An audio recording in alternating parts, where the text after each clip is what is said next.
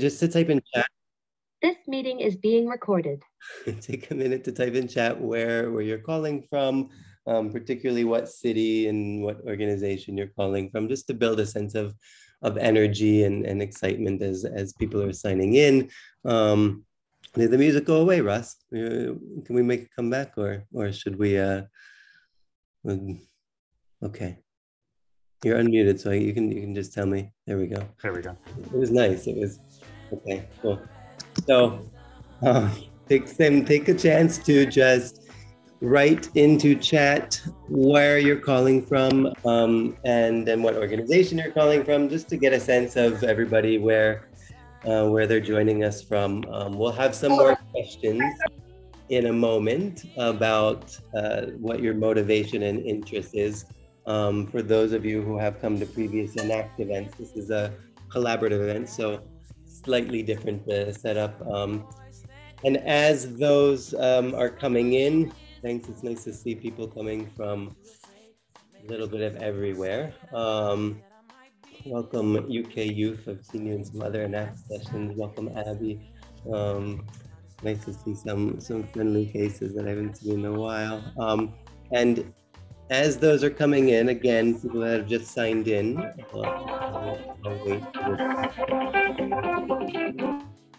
Okay, uh, people that have just signed in, we're just uh, asking people to very simply write in chat where where they're calling from, what organization. We'll have more questions for you to get a bit deeper in in a moment.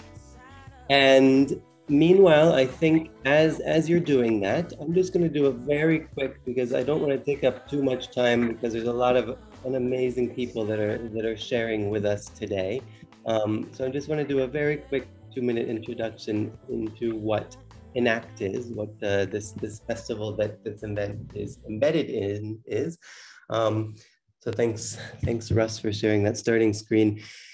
Enact is, is a festival that um, we're, we're in our last week. We've been doing this all of May, run by InHive, but supported by all of these other great organizations that work with and support networks and communities. And, and it's essentially a space for us to say, I don't know, it's, it's, it's a festival all about networks and it's a place for us to say, networks are something that are all around us. Networks are something that we're all in, we're all familiar with, and yet the conversations about how networks can achieve real transformational impact or even how central they are to achieving impact is happening very little. Um, and, and so we wanted to create a space that's for network leaders and coordinators, um, for, for funders, for community builders, for activists, to, to just get a sense of, of what networks are, um, what,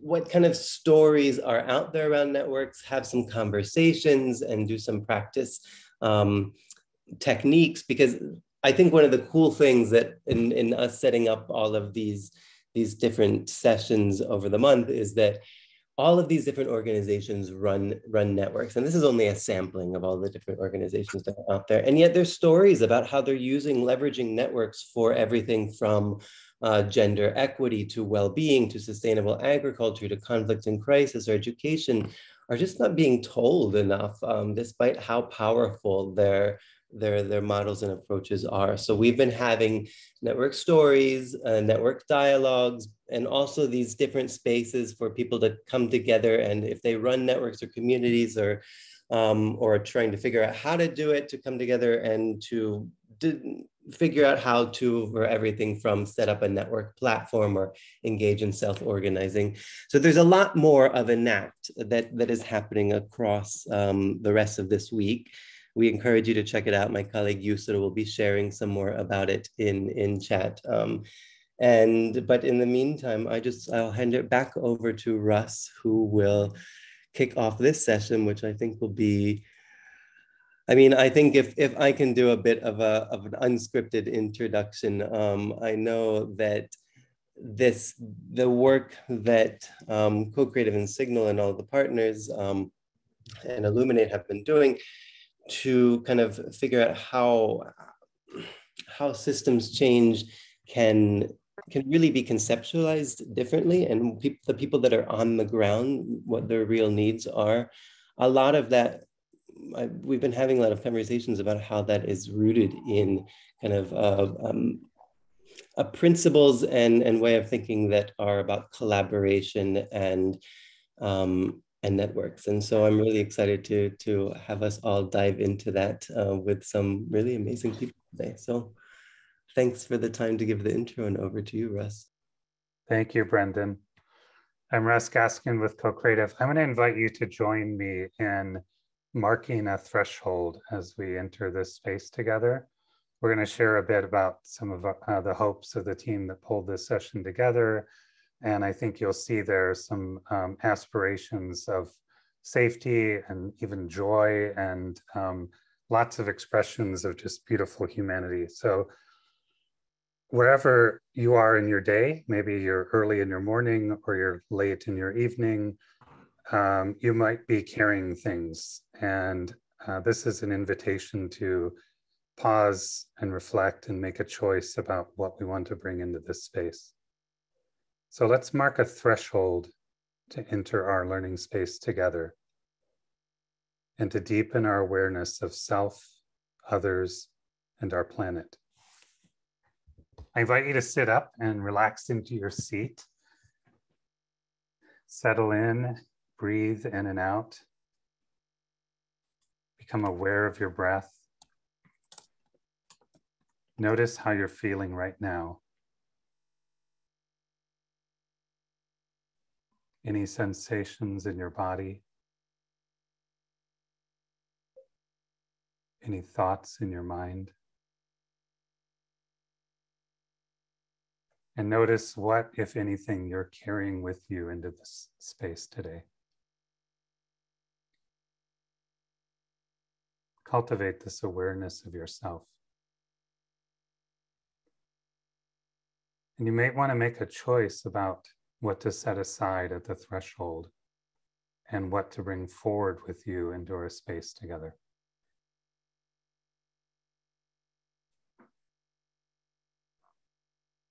As you have a sense of how you're doing, expand that sense inside and out and notice the environment around you the air on your face, the sounds, the smells, the ground or floor you're sitting or standing on. And get a sense of your connection with the planet that is sustaining us and all the systems that we're a part of.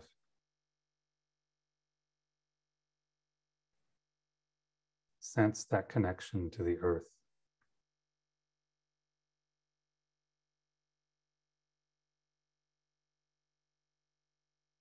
And with that awareness of our relationship with the earth, bring your awareness to this workshop, this group, here and now.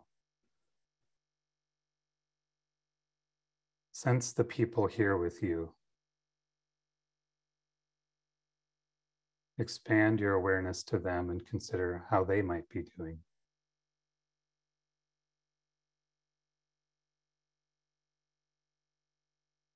This is awareness of our community.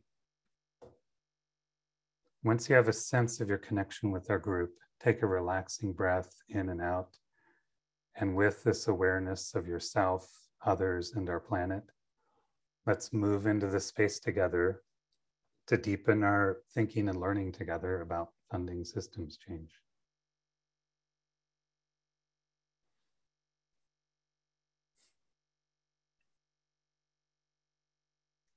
Thank you. Ife, I think we're over to you.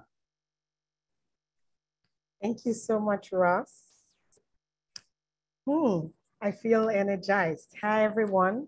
Um, welcome to this session and this conversation on um, how funders can better support and fund systemic change in ways that are more equitable and more effective.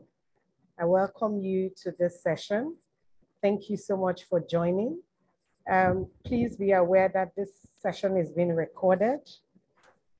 Um, the recording slides, um, the recording and the slides will be made available after this session Um, for the time that we will spend together, please keep your microphone muted um, until, of course, prompted otherwise.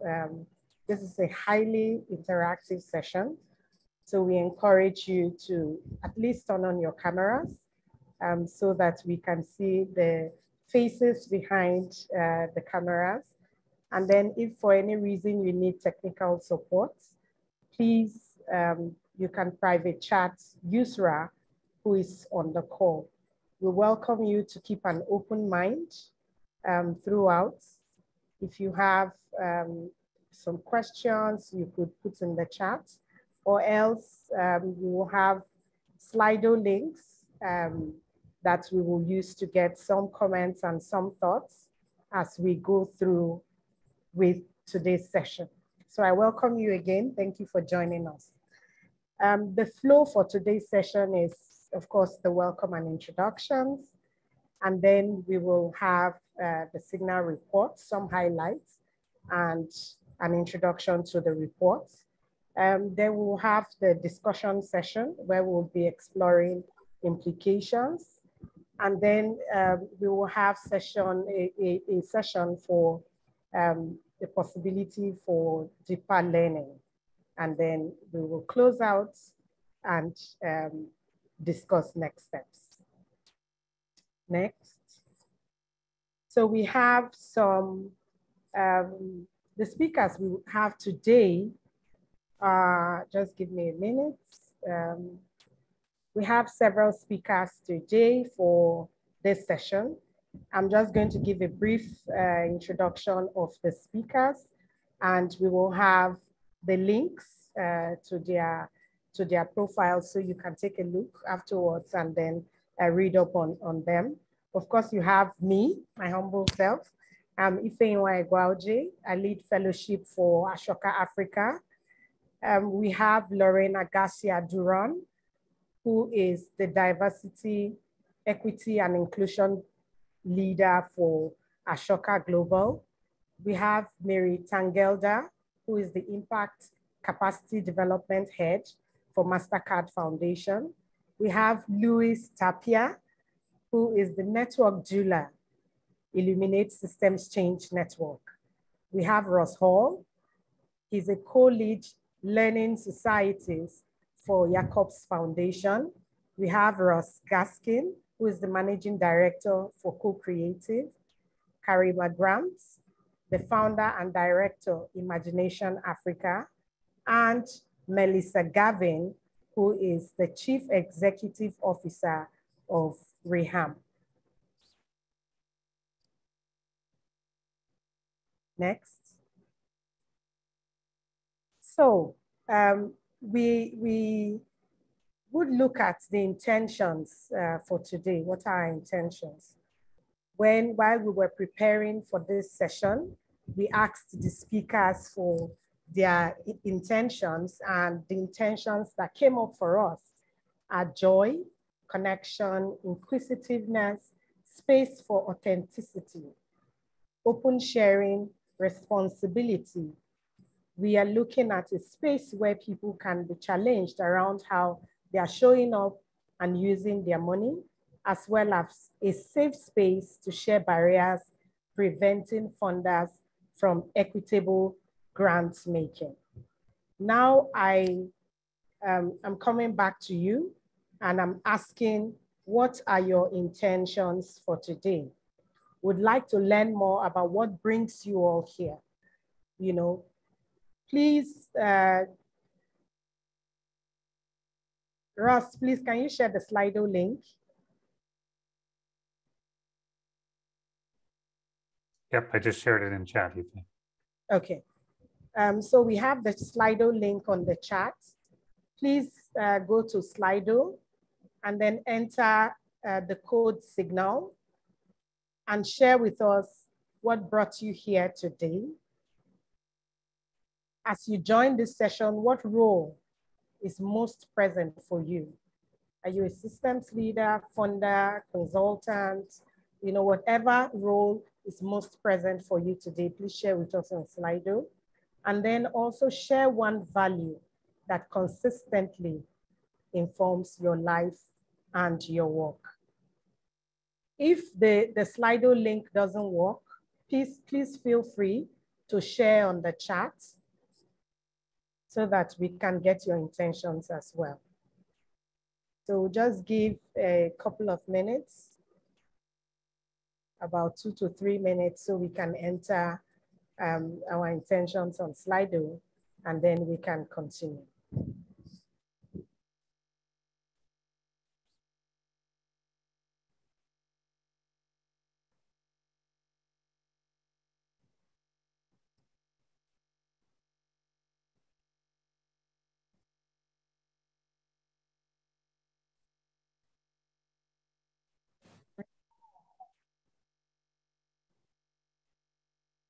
Mais il n'est pas bon. Mmh.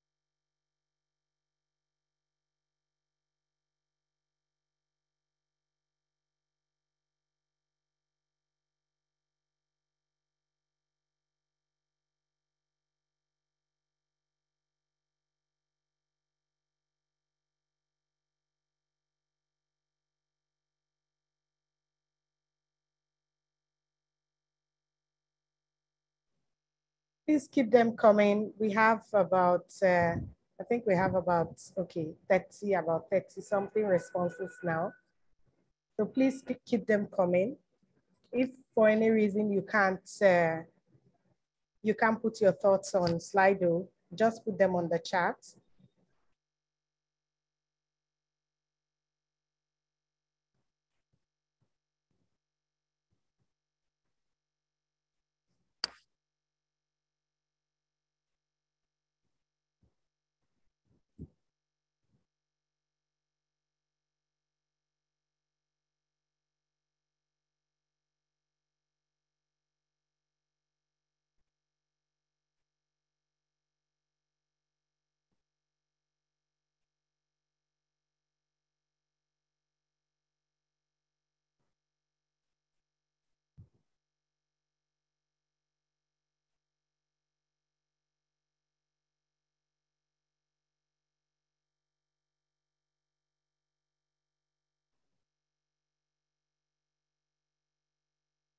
Ross, I see you're trying to share the, the thoughts. You're on mute.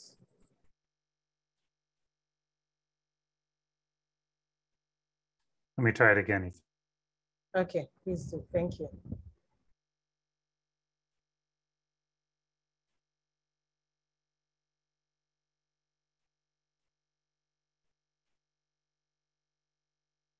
So let's just give us a few about a few minutes to share.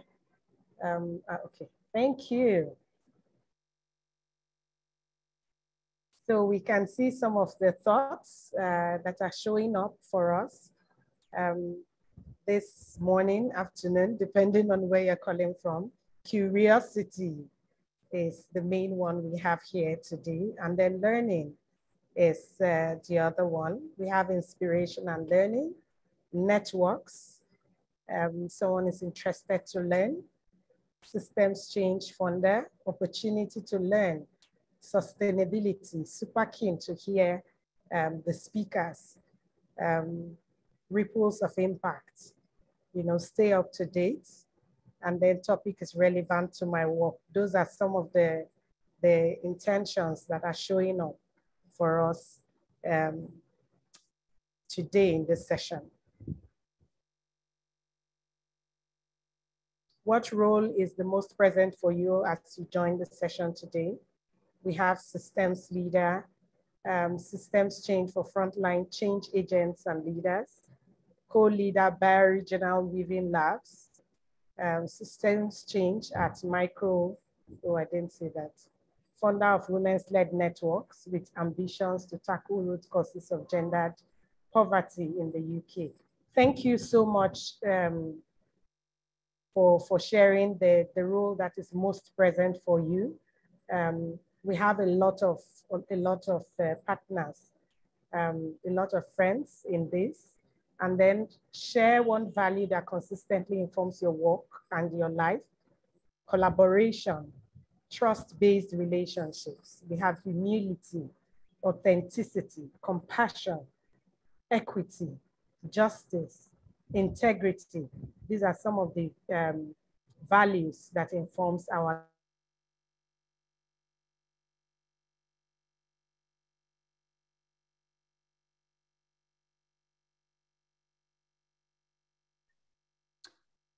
Looks like Ife might uh, have connection issues. So um, I'll just leave this up for a bit and then we're going to transition to Luis to share about Illuminate.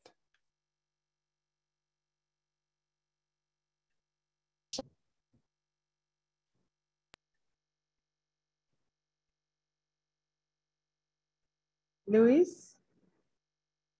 Go ahead. Ife, you unfront. Yes. What's up, y'all? My name is Luis Alejandro Tapia. Um, some of my friends call me Lou.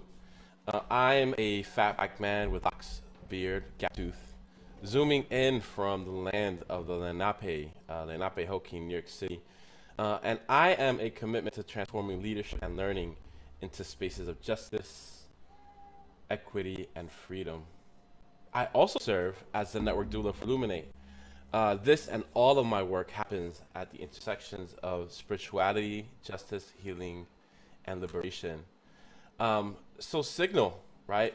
Um, support, inspire, gather, network, learn, right?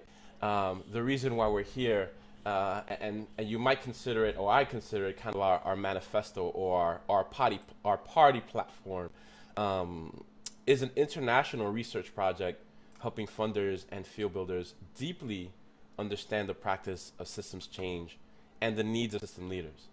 And so the purpose is in the name. The purpose is to foster support, inspiration, gathering, networking, and learning for the field.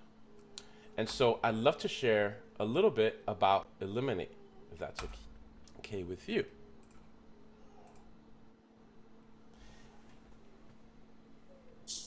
Just take a moment to honor some of the faces that might be familiar to you, might not be, they might new might be new faces to you. And so Illuminate is a collaborative network committed to cultivating the field and practice of systems change towards a just, equitable, and regenerative future for all.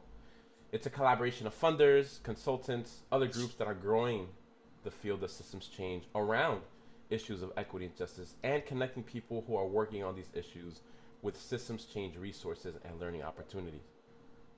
So our intention is to develop and integrate equity practice and principles as a foundation of the field building network. And we do this to support the field's capacity to work from an equity lens to decenter dominant systems and to engage communities who are seeking equity and justice. Specifically, we're, cur we're curating equity systems change practices, exchanging and sharing tools and resources, developing a series of exchanges in collaboration with leading practitioners to advance the practice of equity and systems change and share insights with the broader field. We're creating peer learning programs for system leaders working for marginalized communities and system leaders embedded in mainstream institutions bridging to more marginalized communities. We're convening systems change field builders to gather learning and insight into decolonizing practices, and we're curating network outreach, strengthening the ecosystem of systems change field builders, engaging new partners beyond the usual suspect, diversifying network participants, and integrating learning. Um, and more importantly, we're doing this um, in joyous ways, in beautiful ways, um, in ways that remind us of community and why we're looking to create the change that we want to create. I'll pass it back to Russ and Ife. Thank you, Luis. Um, I pass it on to Ross um, to share about uh, the signal survey. Thanks, Ife. Ife and I are going to share together. I'm going to start out. Um, we want to share a bit of the highlights from the signal research. You all uh, should have received the report after your registration for this session. And if you didn't, you'll receive it right after the session as well. But um, the uh, I'm going to share a bit about Signal. I'm going to share along with Ife. Ife is going to share most of the kind of insights related to funding and resourcing systems change work. And then we're going to invite you all in breakout discussions to, to talk about what does this mean for you? What do you think about what you heard? Um, uh, what comes up for you when you consider what you heard? So uh, Signal's research intent, um, as, as Louisa noted, alluded to, was to understand both the common and differenti differentiated needs, interests, language, aspirations, and I would add, and experiences, on the ground experiences of people doing systems change work. They may not call themselves leaders, they may them call themselves, like Luis did, a doula, or um, they may have different names for it. But we were looking for people who are in this kind of catalytic role in systems change work, and they were connecting other actors across a system to support systemic change so that that system will produce systematically better results and more equitable results.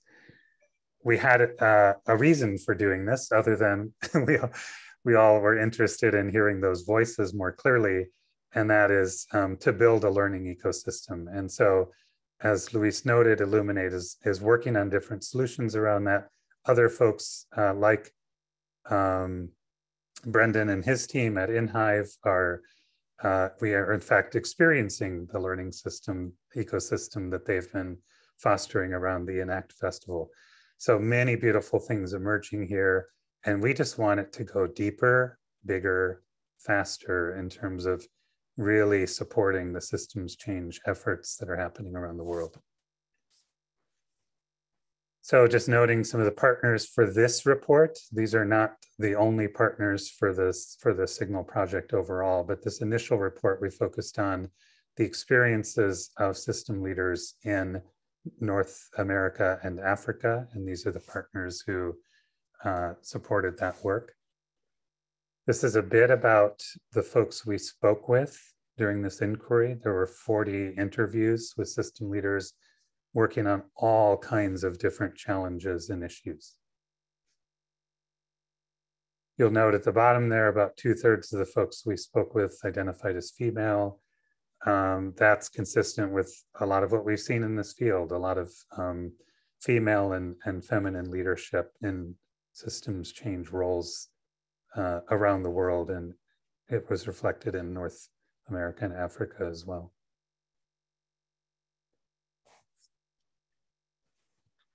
And these were the seven key themes that emerged. And we centered equity and inclusion, not just uh, graphically here, but it was literally centered as really the core issue, the core kind of challenge and interest of the system leaders we spoke with, and that was common across both continents. That the need for really centering equity, really um, centering proximate leaders in the work, not just their experiences and their voices, but their their leadership and their knowledge of of the of the context in which any work is being done. We also had um, expanding capabilities and increasing capacity. So increasing capacity was more about we need uh, more diverse skills, we need more team capacity to support the work that's happening. And expanding capabilities was, uh, I think, a pretty universal thing, maybe not totally universal among the 40 interviewees, but man, this work is hard and it is a lifelong learning journey. And um, one person said, I will never stop learning about how to lead systems change work more, more effectively. So we're going to focus in here on particularly resourcing systems change and centering equity and inclusion, which has a lot of uh, connections into how resourcing is done or not done currently. And you'll see in the report other areas too, leveraging indigenous wisdom came up across both continents, some different kind of expressions based on who was speaking and their cultural and ethnic context. Um, and then uh, we had the need to support leaders, this, this really craving desire for connection, for support, to be in relationship with others who are taking on the difficult work of holding the space in between efforts and organizations and sectors. Um, and we heard it can be a lonely place to be. So we're looking at ways that we can support. And I know others are working on ways to support that connection and relationship for folks. And then deepening collaboration, clearly a theme that's uh, very relevant to the Enact Festival and the theme of networks. So a few things on centering equity and inclusion. One was addressing bias in the systems change field itself. And you saw, um, uh, as Luis introduced Illuminate, um, the, the focus on diversity and equity and uh, the essentially decolonizing the field of systems change. And we heard that from leaders. Um, again, in both continents, the theme was very consistent. Uh, there are ways of working, ways of thinking, ways of doing things et cetera, that, um, that don't really honor uh, indigenous wisdom, that don't honor local wisdom, uh, and in fact are barriers to the work.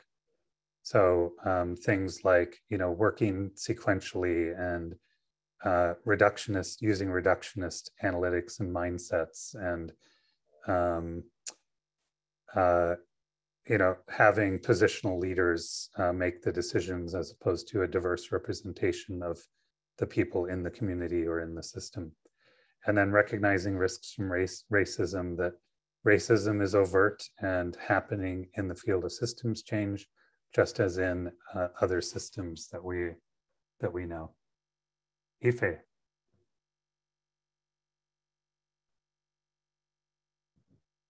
Okay. Can you hear me? Yep. Um, I had issues with uh, my internet. Thank you, Ross. Um, the systems leaders we spoke with um, talked about diversifying systems leadership. Um, they talked about um, white dominance in, in, uh, in their initiatives, uh, that in spite of, of equity in their systems change uh, initiatives, many leaders spoke you know, about white uh, dominance in participating organizations. So um, even social innovation most often comes from the white middle class and most and often um, they are male.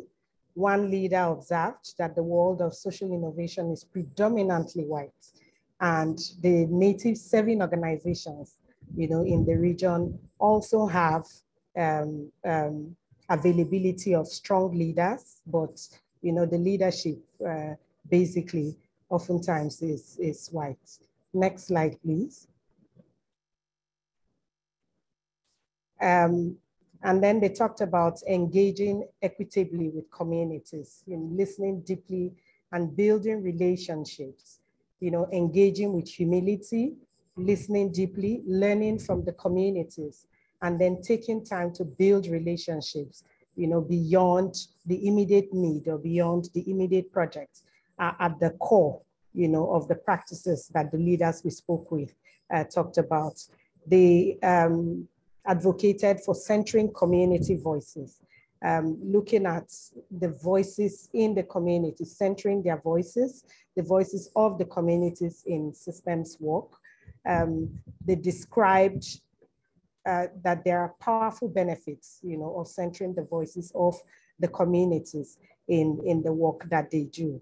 And then um, they, they talked about moving away from outside experts, that there are, you know, indigenous expertise and, you know, this indigenous expertise needs to be um, trusted. They are frustrated with, you know, expert driven analysis rather than looking at the experiences of community members you know, and uh, what this can do for system change work. And then um, systems leaders also talked about moving into co-creation, you know, um, they, they embrace co-creative processes in, in their communities and then um, working with them as allies, you know, looking at uh, their vision, analysis, and strategies for change. Um, one system leader said, we can't arrive and impose a vision, you know, on, on systems leaders. We can't arrive with an attitude such as I have to come to conquer. Rather, it's best to have, you know, um, co-creative processes with, with the systems leaders. Next, please.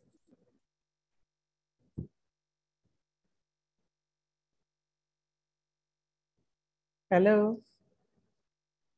I changed the slide, Ethan. Are you seeing it? Okay, thank you. Um, and then uh, they talked about advancing equity in funding and philanthropy.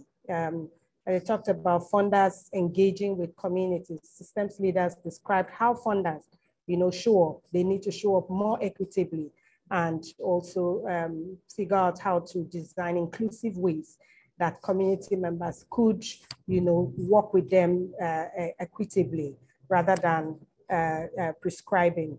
Oftentimes, funders, you know, sort of prescribe as against, you know, coming to the table to work with the systems leaders. Then they also talked about addressing racial bias in, in philanthropy. Um, they shared concerns about racial bias in the philanth uh, field of philanthropy and um, uh, noted that uh, minority organizations do not get as much uh, uh, preferences as you know a white organization would get if it comes to funding um, and and uh, funding on a minority platform. Next slide.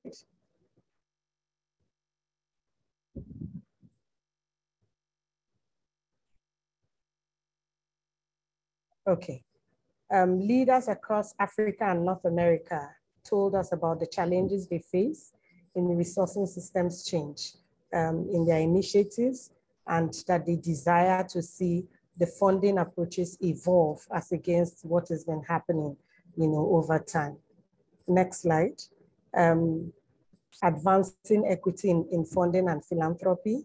the shared concerns about reliable funding you know, how right now it's unreliable, how and, and uncertain, you know, they would prefer to have a more reliable and equitable funding um, in philanthropy. Long-term, supporting long-term strategies, systems change takes time and it's, uh, it will profit systems change work, you know, for, for systems leaders to work on long-term strategies um, as a result of the fact that right now they are frustrated with some of the funding commitments because they are, they are short term. They talked about investing in systemic and emergent um, approaches. Um, they looked at how the emergence and iterative processes, you know, are key when you're working uh, through these complex issues. And so it's better to invest uh, in, in systemic and emergent uh, approaches.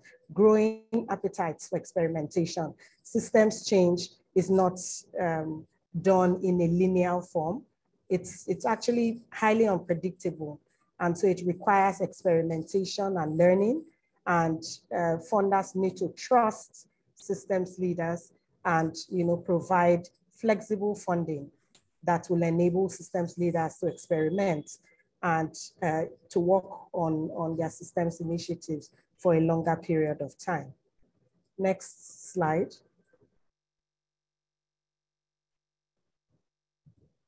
Um, they shared about advancing collaboration among funders. So uh, systems leaders are frustrated, you know, with getting funders to align on approaches and, and strategies. This limits the reach and also limits the effectiveness of their work. Um, ensuring funding access for marginalized communities. There are communities um, that are not reached with funding. So this, of course, brings frustration in the systems change work in, in um, both Africa and North America. And so it would be helpful if, uh, if um, the funding um, can be accessed by marginalized communities. expanding responsive governmental uh, funding. Systems leaders also look at, uh, talked about government funding for their work and the challenges that um, this has put them through. And then they also shared the issue about um, evolving measurement and evaluation. In language, in metrics, timeframes, systems leaders are, you know, at this point frustrated with um, the measurement and evaluation processes that exist currently and would prefer if we have, you know, it evolve um, to reflect what is actually happening on ground. We know that measurement and evaluation these days looks at time frames, it looks at um, numbers as against uh, paradigm shift, mindset shifts, you know, and some, some shifts in the system. So evolution of this practice would be highly helpful for systems change work. Next slide. And finally, I invite Ross uh, for us to share some proverbs um, on systems change. So I'll share, I'll just pick a few and share, and then I'll invite uh, Ross to do the same. Um, when there's peace in a country, the chief does not carry a shield. This is a Ugandan proverbs, a proverb on outcomes um, as regards systems change. Cross the river in a crowd and the crocodile won't eat you. This is another African proverb on oneness. And then on learning, uh, which is another African proverb, we have, do not look where you fell, look where you slipped. So I invite uh, Ross to also share some African proverbs on systems change. Thanks, Ife. Uh, and I want to note uh, appreciation to Peace Nganwa, who, uh, when she was at MasterCard Foundation, learning about systems change, pulled this set of, uh, of um, proverbs together. Um, the one that stands out to me is wisdom is like a baobab tree. No one individual can embrace it. So those are in the report. We'll leave you with, with those. And I want to move us into some discussion now. Um, we're going to invite you into a breakout group discussion, four or five people. This will be random groups. And um, we have a few prompts for you. Very quickly, kind of just your name, how you are now. Um, what do you think about what you heard? So, you know, maybe something stood out to you as particularly interesting or challenging or whatever that is. Um, and if any feelings are coming up for you related to that, um, those are important, right? Because they're information uh, and um, our, it's our body telling us that maybe there's something pushing us or something maybe challenging us or inviting us uh, into some new learning. So I want to check with uh, Maricela. I think we have 15 minutes for these groups. Is that correct? Just want to check that assumption. Yes, it is correct. Thanks, Russ. Okay, so um, we'll put these uh, into the chat if we haven't already. Looks like they're there. And uh, invite you to join your group. And um, let's just keep confidentiality with one another. So we'll have a, a rule of confidence here that you're free to share what you heard, but not to attribute it to the speaker or the speaker's organization. So we can create a little bit of boundary around our space for sharing here. Ife, anything before we go into breakouts? No, I think you covered it. Thanks, Okay. Ross. We'll see you all in 15 minutes. Yeah.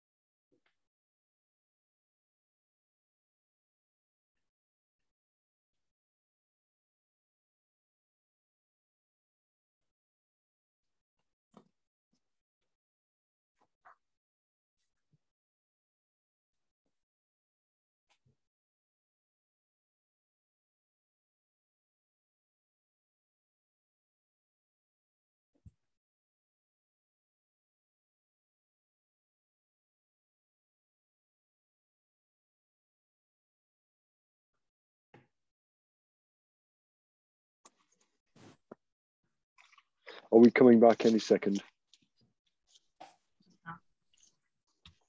Thank you.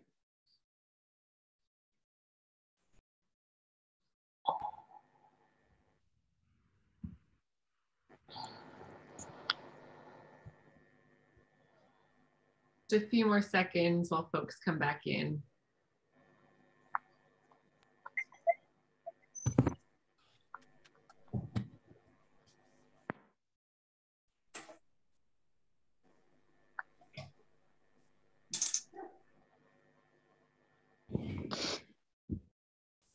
Welcome back. Are we all here? Welcome back, everybody.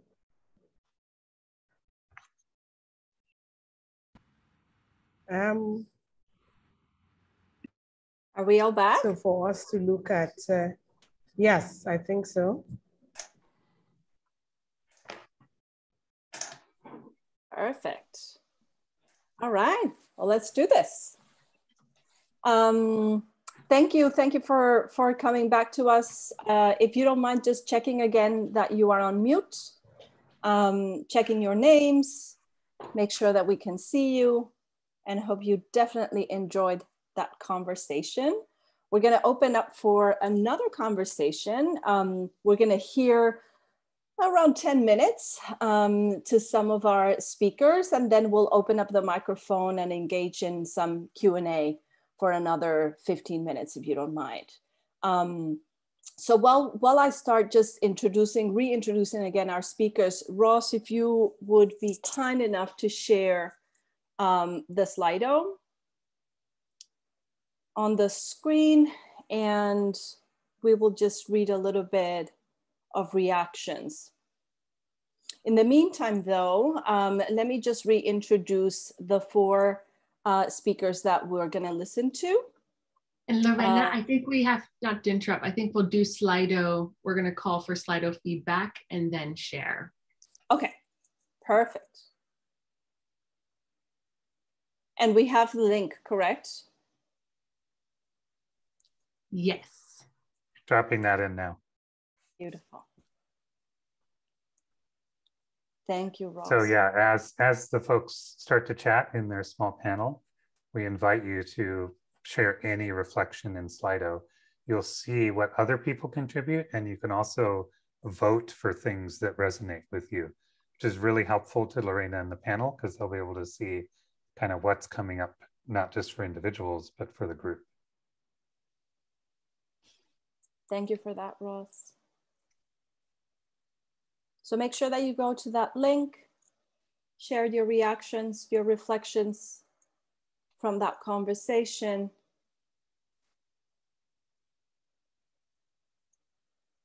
Let's give it a couple of minutes.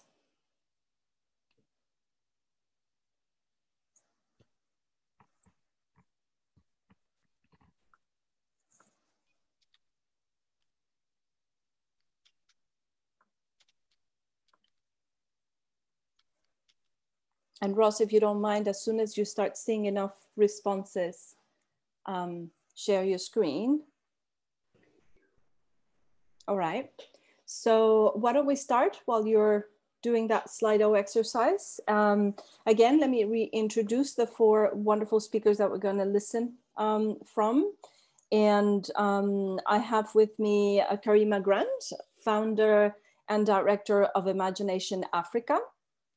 Um, uh, we also have Melissa Gavin, uh, Chief Executive Office Officer for RE-AMP, Ross Hall, co-lead learning societies from Jacobs Foundation, and Mary Tangelder, Impact Capacity Development Head for the MasterCard Foundation.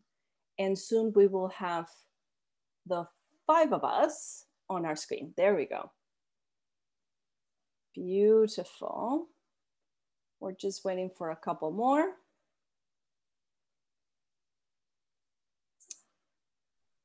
Go ahead and start, Lorena. I'm just looking for our other panelists here. Perfect, thank you.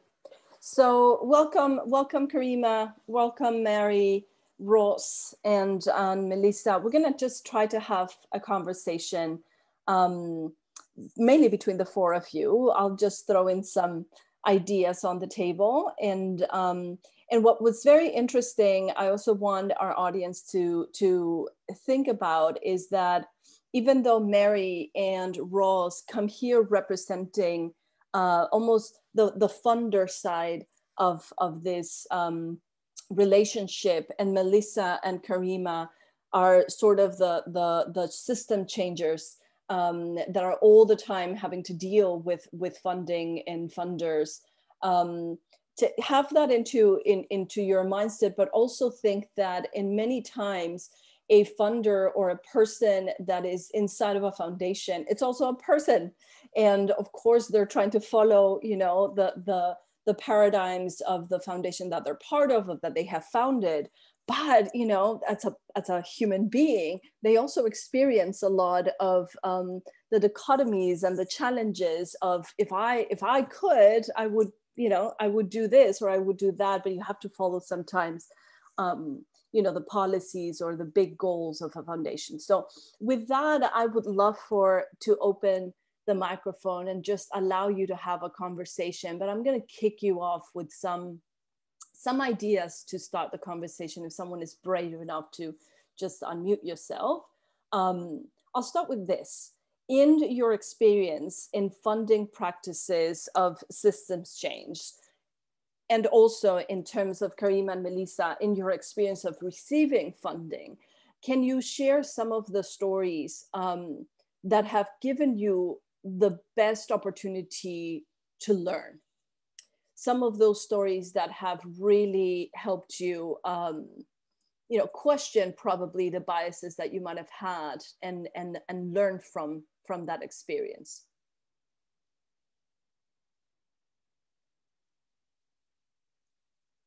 Who wants to kick us off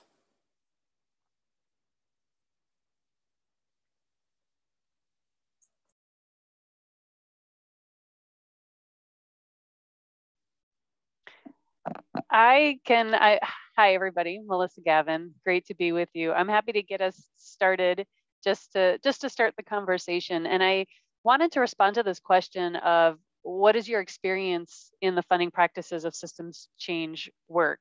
And, and one thing that I am learning is that systems change work, systems, um, the, the term systems change is incredibly sexy and attractive right now. And it looks really different on the ground than I think a lot of philanthropy thinks it should or does. And so when um, I, I hear the word a lot from funders that they want to fund systems change, they want to they want to address root causes, but they also want it done in a year and they want some metrics. They want you to report on metrics that you're not gonna you're it's there's just a complete mismatch. And I'm learning that I have to be careful and break down with them what is what does systems change look like for you.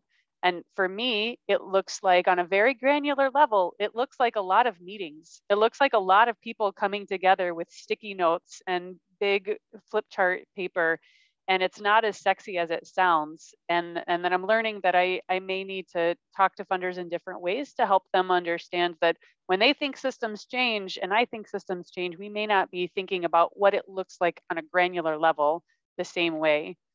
Karima, what would you what would you say? Yeah, thank you for that. I'm, I'm glad that it's become sexy because I think about three, four years ago, it wasn't sexy and it wasn't even um, in the language. So I think that's something also for us to remark upon about how funding goes through sort of sexy language and sexy jargon and we all align ourselves, those of us on the ground, we all align ourselves with it to kind of see how the work we've been doing for so long can now be described by something that funders are now um, very interested in. I think the thing I would add, I would absolutely agree with you, Melissa. I think the other thing that I would add is that I don't think, um, in my experiences, funders not only, I mean, yeah, funders, not only do they not understand what it looks like, but they don't understand what it costs. And the assumptions about what it costs to do that kind of work. Um, we're not even going to talk about the length of how change happens, but also the risk that they want to take on, okay, yeah, you know, I'm interested in funding systems work, but I'm only interested at this level.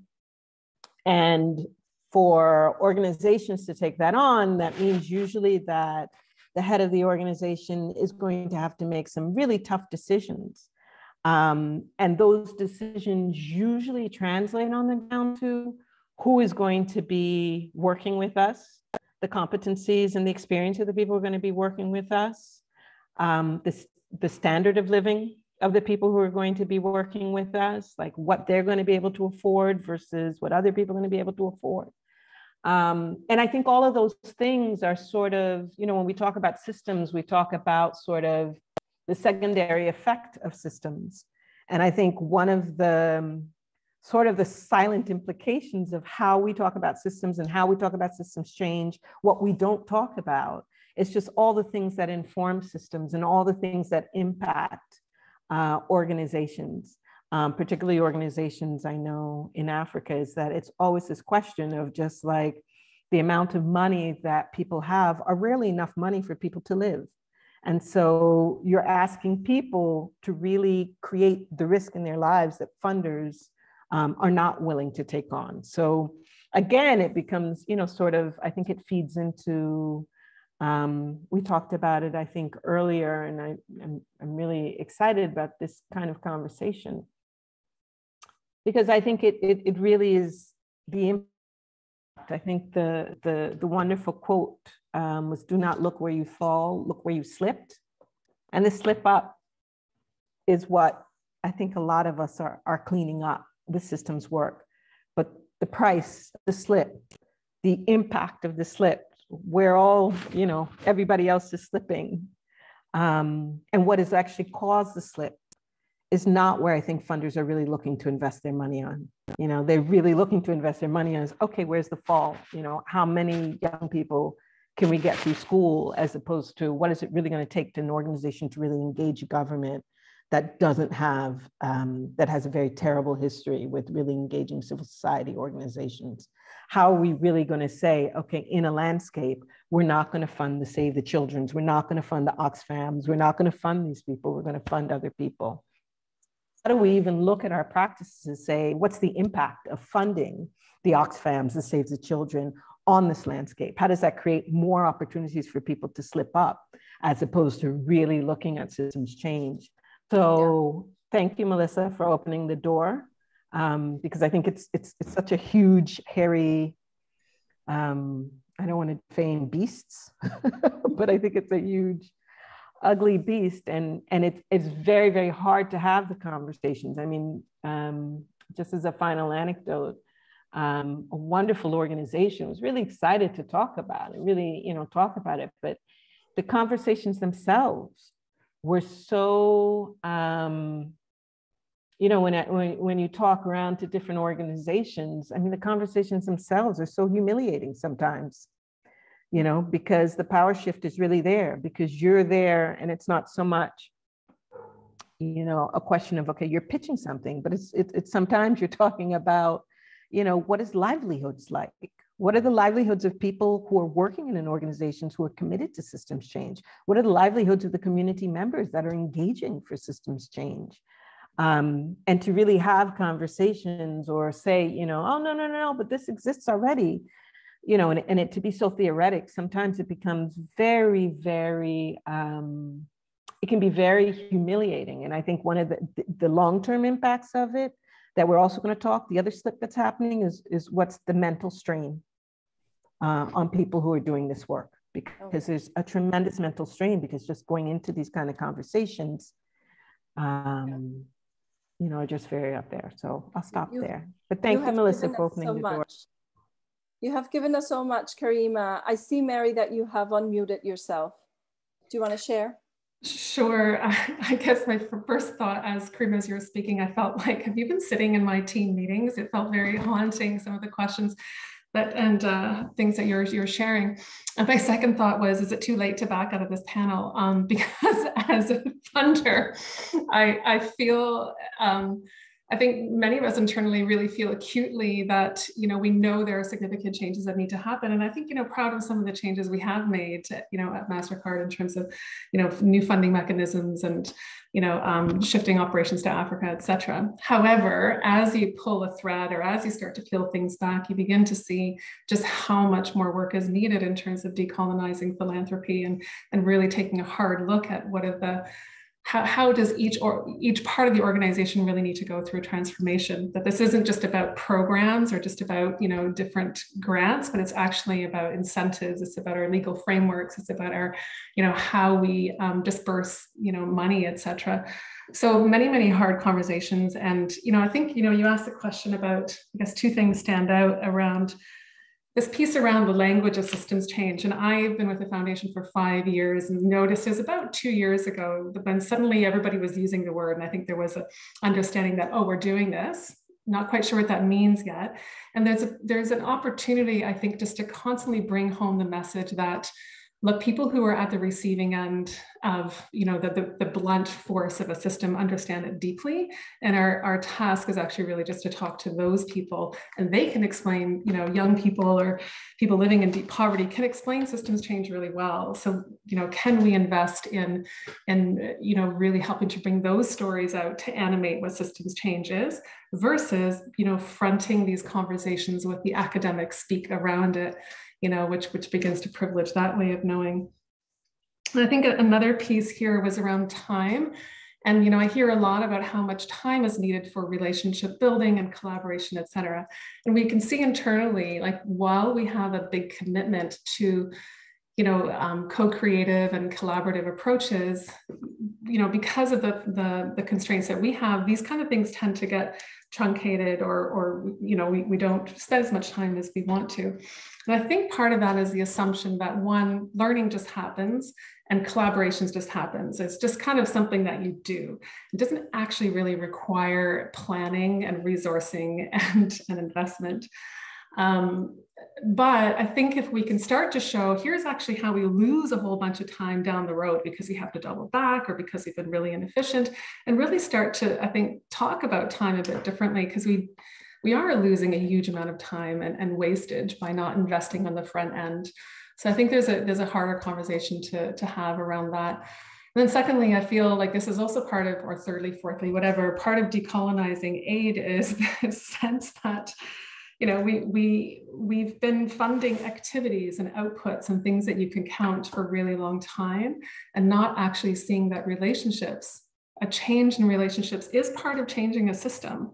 You know, so how can we, you know, I think a task for funders is to make that change much more vivid. Um, and I'll stop there.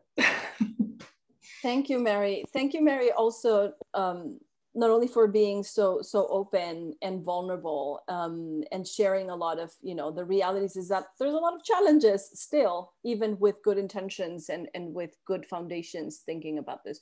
Ross i want to give you the microphone before we open up for our q&a sure thanks so much. And uh, i mean this is clearly um, a very or it needs to be a nuanced conversation because this is a really complex subject, isn't it? And I've spent most of my latter career on uh, the fundee side of recently uh, moved over to the funder side of things. So while I would agree with you, Karima, that lots of funders, I think, don't really, really understand what this kind of grounded system change work means. I think likewise, lots of fundees don't really understand what it means to be a funder. And I'm, by the way, I'm not claiming you know, I'm not saying woe is me or I'm a victim here, but there are challenges, of course, on both sides of the table. Of course, there are. And I've just made a few notes. I've noted three things which I think are realities and three implications that come to my mind when I think of these realities. On the one hand, first of all, there is just an uncomfortable power dynamic. As soon as one person's got money and the other person doesn't but wants it, there's a very difficult power dynamic. And I think that's often not really brought into the, to uh, put clearly on the table when conversations are happening. It's kind of there under the covers. And because it's there under the covers, it seems to fester, I think, and it's not very healthy. I would like to see it come out more often. another reality is, of course, everyone really does want to create impact. Um, now, how we conceive of impact might be different, but I think we can trust that there are good intentions on each side, but perhaps uh, if we go, if we explore beyond the pure intentions to get into the practicalities of how we might start to uncover different perspectives on how that impact might come about. And the third reality, I think, which has really come into my mind is that as a funder, um, you need to make really difficult choices uh, typically, uh, uh, insofar as you're often getting lots of people asking for what is what is a limited amount of money. So you have to justify um, the choices that you're making, usually to some kind of board or funding committee, um, who are even further away, by the way, from the uh, grounded solution or the grounded problem often. Um, and so this also calls into play this also difficult assessment of the risk because as the funder, you need to make sure that you are making the best investment that you possibly can in order to create the best impact that you possibly can, often with limited understanding.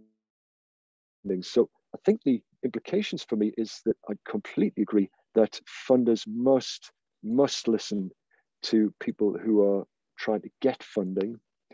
But I would also say that needs to go the other way. And there needs to be a dialogue, a very deep empathic dialogue which is often missing in my experience. Uh, we're certainly trying to do it at the Jacobs Foundation. We, I'm sure we're not always successful, but I just feel this is really critical.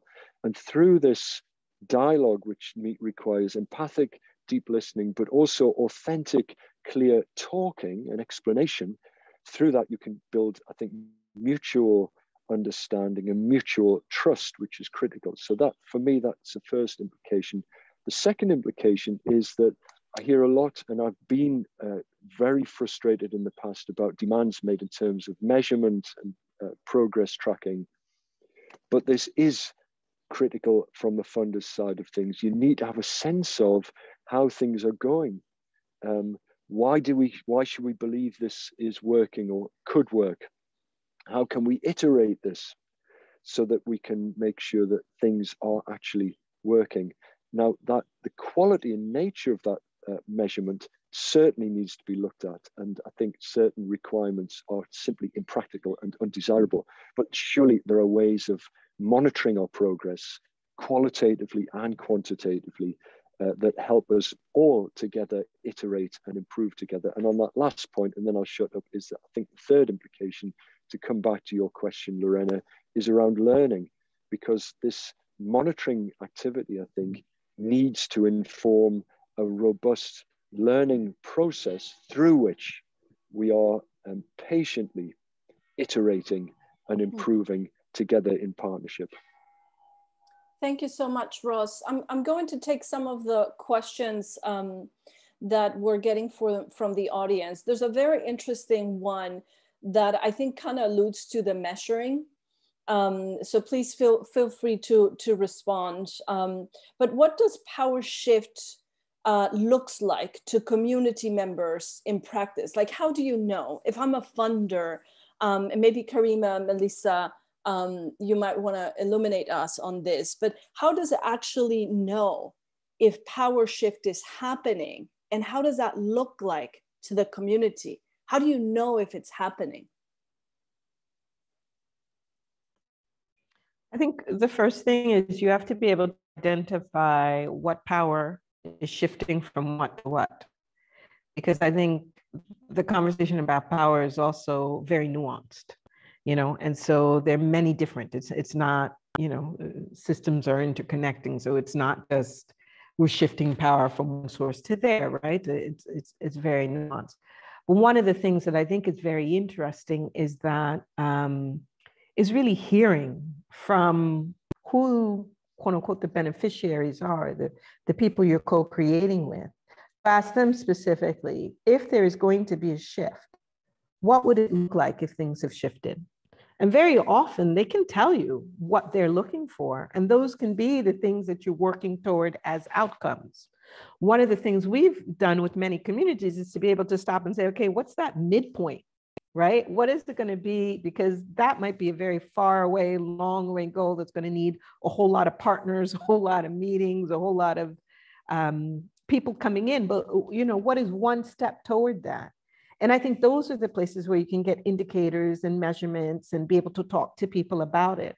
I think um, one of the best experiences we've had um, with funders, really, when we want to talk about, because I think it's also really great, we can talk about what doesn't happen, but when things do happen, um, I think it's also a great learning story.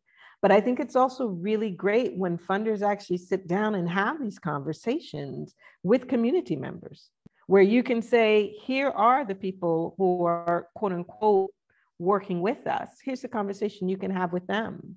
Um, you know, if we have to find somebody who's an independent translator very often because languages, but that very often tells a really powerful story.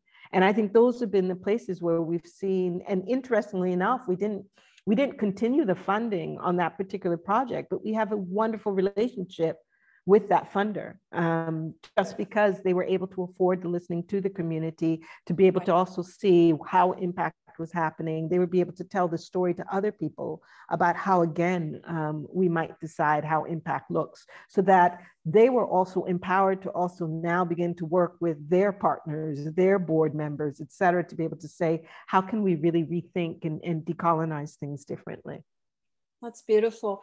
Karima, I think we're running out of time, but um, there is someone in the audience. I think Brett, Brett Sinclair was uh, had his hand raised. So let's just take one more question from you folks and um, and see who can answer. I don't know, Brett, if you can hear me and if you can unmute yourself. Hi, yes, thank you. Uh, a, a curious question, I'm supporting the, the creation of a diversity, equity, inclusion community action network uh, here in, in the States. And something that was unique to how this group started off was that this was an idea that originally came out of a conversation with two of our large regional funders that are saying that this is work that really needs to happen here. Um, but a year later and about 90,000 of in-kind work, there's still been no funding put on the table by these partners who called for this to happen. Do you have any thoughts and suggestions on any ways of moving, moving forward or? And is it, Brett, to put it into context, um, is it more around how do we how do we convince funders that decolonizing practices of funding and um, making more diverse and more inclusive fundings and more equitable fundings. How, how do we how do we do that? What is the sell what is the carrot that we put in front of funders? Is that a little bit a framing of your question? More in this case how to get the funders whose idea for this network it originally was to actually invest in that project themselves. Okay. Thank you, Brett. Because it's our last question, is probably our last couple of minutes, um, I invite our speakers to either answer Brett uh, with some advice or if you want to share some last thoughts.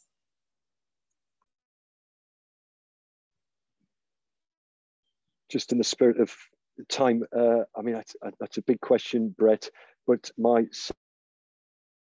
sense is I think there, it feels like there are two really critical things for me. Showing the story of change comes to mind. So showing the story of change and sharing the evidence, I think is really important from a funder's perspective. Thank you, Ross. Anything else from Mary, Melissa, Karima before we start closing? I think there's a piece there about funder education.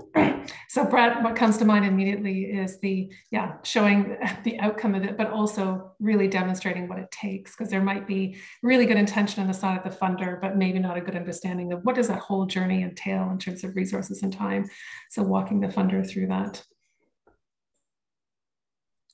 I would just add also finding other ways that funders can participate in things because I think sometimes the conversation is about funders funding things, but what we found is that funders can talk to other people, they can help enable you, they can find other ways to support you. And I think that those are the kind of broader relationships you also want to determine So, you know, whoever's initial idea was it, if they have an understanding of it, maybe they can talk to other people who might be able to fund this or may be able to do a little part of it. So how do you engage them as partners first, as opposed to engaging them strictly as, hey, can you come and foot the bill? And I'm not saying that's what you're doing, Brett, but just, just as a shift.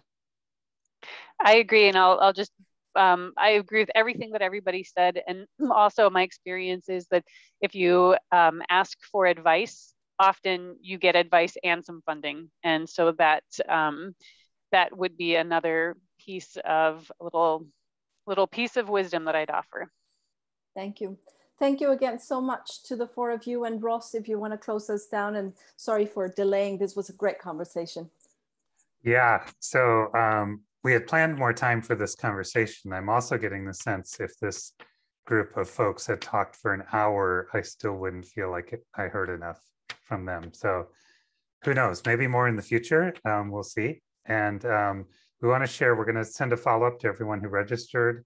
In that will be some additional learning resources uh, around funding systems change. And that includes uh, courses that are available, learning experiences, as well as reports and networks that are available.